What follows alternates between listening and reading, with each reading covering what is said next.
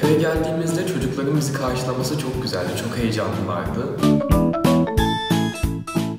Okulumuz zor bir coğrafyada, Samsun'a 90 kilometre uzaklıkta ve birçok öğrencimiz sırf bugün bunun için geldi. Mesela 26 kilometreden gelen öğrencimiz vardı bu bilim şenliğinde neler olacak gibisinden.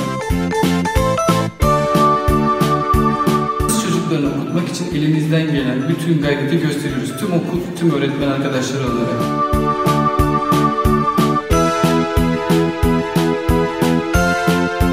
Aslında biz kendimize inandığımız zaman önümüzde asla bir engel